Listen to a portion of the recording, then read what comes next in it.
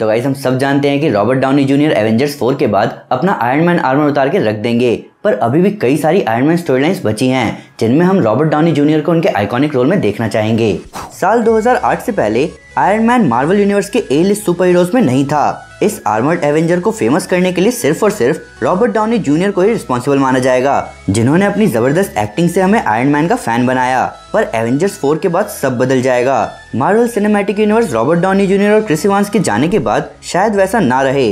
पर हम फैंस अभी भी इन आइकॉनिक कैरेक्टर्स के साथ कुछ ऑसम स्टोरी लाइन्स देखना चाहते हैं। तो वाइज मैं हूँ अमन सिन्हा और आज हम बात करने जा रहे हैं top five Iron Man storylines की, जिन्हें हम मूवीज़ में देखना चाहते हैं। तो स्पॉयलर्स का ध्यान रखते हुए चलिए शुरू करते हैं। मार्वल सिनेमैटिक यूनिवर्स में रॉबर्ट डॉनी जूनियर अभी तक आठ फ़िल्मों में दिख चुके हैं, प्लस एक मूवी में उनका कैमियो भी था, और अब वो हमें दिखेंगे अगले साल आ रही एवेंजर्स की फोर्थ एंड टाइटल मूवी में। आज हर super hero fan Iron Man को जानता है, पर ऐसा हमेशा नहीं था। 1963 में कॉमिक्स में पहली बार दिखने के बाद आयरन मैन मार्वल यूनिवर्स के सबसे इन्फ्लुएंशियल कैरेक्टर्स में से एक था, पर टॉप लिस्ट कैरेक्टर्स में से नहीं। लेकिन आयरन मैन की कई सारी स्टोरीज ऐसी हैं, जहाँ हम टोनी स्टार को और बेहतर बनते हुए देख सकते हैं। तो चलिए आयरन मैन की इन्हीं स्टोरीज में से बेस्ट स्टोरीज की बात करते हैं। Number five director of Shield Marvel Cinematic Universe में आज तक हम सिर्फ़ निक फ्यूरी को ही शील्ड डायरेक्टर की पोस्ट पर देखते आए हैं। पर क्या हो अगर एक पॉइंट पर हम अपने टोनी स्टार को इस पोजीशन पर देखते? और ऐसा ही होता है director of Shield story line में, जहाँ 2006 के सिविल वॉर के इवेंट के बाद टोनी स्टार को शील्ड का डायरेक्टर बनाया जाता है। और शील्ड डायरेक्टर बनते ही टोनी वो सब करता है जो वो पहले करना चाहता था। यहाँ हमें टोनी अपना कॉर्पोरेट कल्चर शील्ड में फिट करता हुआ दिखाई देता है। पर ये स्टोरी लाइन टेक बेस्ड कम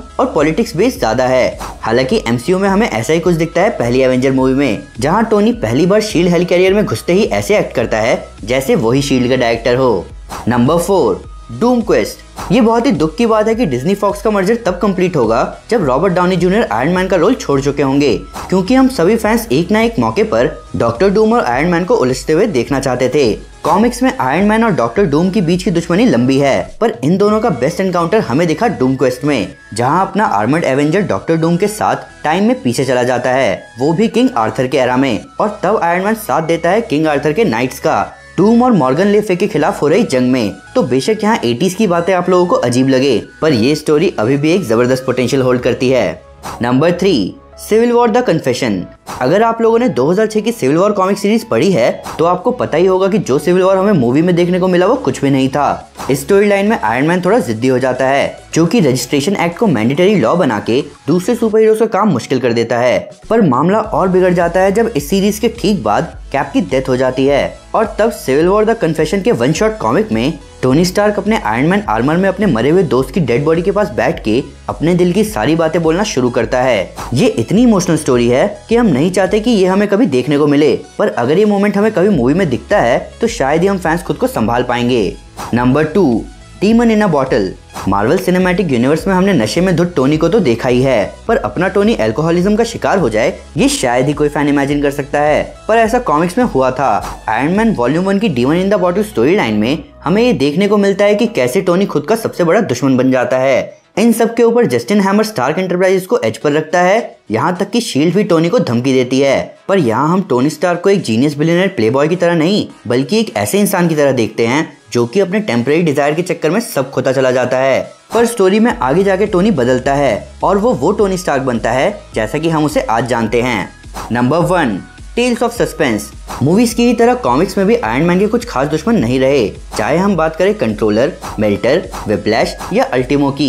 इनमें से कोई भी अपने आर्मर्ड एवेंजर के लिए एक मेजर लेवल की थ्रेट नहीं था, सिवाय मैंडरिन के। पर मूवी में तो इस नाम का मज़ाक बना दिया गया। हालाँकि फैंस में उम्मीद की किरण तब जागी जब हमें ये नाम दोबारा सुनाई दिया Marvel one shot Long Live the King में। पर रॉबर्ट डाउनी जूनियर के चले जाने के बाद अब कौन मैंडरिन से निपटेगा? ऊपर से मैंडरिन के टेन मार्कुलॉन रिंग्स एक टाइम पर इन्फिनिटी स्टोन से भी ज़्यादा फ़ेमस थे। पर अब ऐसा लगता है कि ये सब कुछ मूवीज़ में होना मुश्किल है।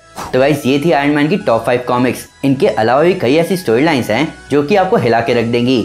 ये स्टोरी लाइन्स है Civil War two Armor Wars Deliverance World Most Wanted और द आयरन एज कॉमिक्स में हमें जो डिटेल्स देखने को मिलती हैं वो मूवी के लिमिटेड टाइम की वजह से पॉसिबल नहीं है। और इसीलिए कॉमिक्स का कोई मुकाबला नहीं।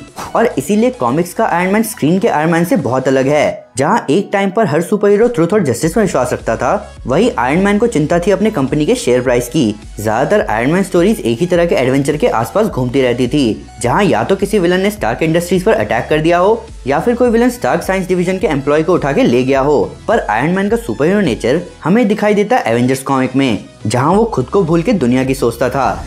तो गाइस ये थी वीडियो आयरन मैन की टॉप फाइव स्टोरी लाइन्स के बारे में। ये हमारी बदकिस्मती है कि हमें आरडीजे एवेंजर्स फोर के बाद नहीं दिखेंगे, पर हमें मार्वल स्टूडियो से भरोसा है। वो हमारे लिए कुछ ना कुछ बढ़िया लेकर ही आएँगे। पर फिर भी अगर उनसे कोई डिटेल मिस हो गई हो, या आपके कोई नया फैक्ट है इस वीडियो से रिलेटेड तो प्लीज़ हमें कमेंट में ज़रूर बताएँ। साथ ही साथ आप मुझे ये बताएँ कि इन सारी स्टोरी लाइन्स में से आपकी फेवरेट स्टोरी लाइन कौन सी है? ऊपर से लेटेस्ट सुपर न्यूज़ और ऑसम सुपर फैक्ट्स के लिए हमें फेसबुक ट्विटर इंस्टाग्राम और गूगल प्लस से फॉलो करना ना भूलें। हम हर जगह हैं। तो गाइज़ अगर आप कॉमिक्स की सिविल वॉर के बारे में जानना चाहते हैं तो मैं आपको हमारी Civil War comic series recommend करूँगा। साथ ही साथ, अगर आपको वीडियो पसंद आए तो इस वीडियो को लाइक और शेयर ज़रूर करें, और ऐसे कई सारे सुपर कंटेंट के लिए हमारे चैनल को सब्सक्राइब करना ना भूलें। Thank you guys this is Aman Sinha and you are super super peace